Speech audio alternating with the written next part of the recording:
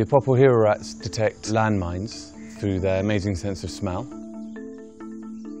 Rats can check an area of around 200 square meters in 20 minutes. Someone with a metal detector may take up to four days. A typical day for a hero rat starts at about six o'clock in the morning. Good morning, Magawa.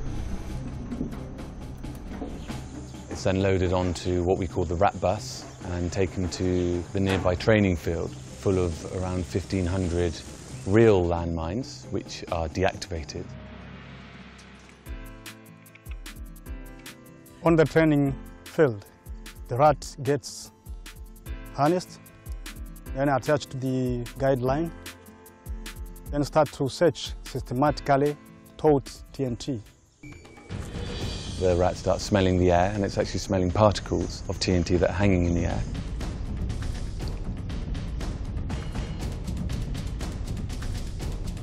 Once it's sure that there is a landmine below it, it will make a little scratching on the surface as an indication to its handlers that there's a landmine there. It hears a click and it then receives a reward.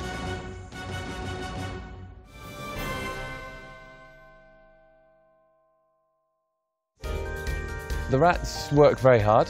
However, they will spend the rest of the day either sleeping or eating or having fun with their trainers. Meanwhile, the younger rats, who are not as advanced, will begin their early training.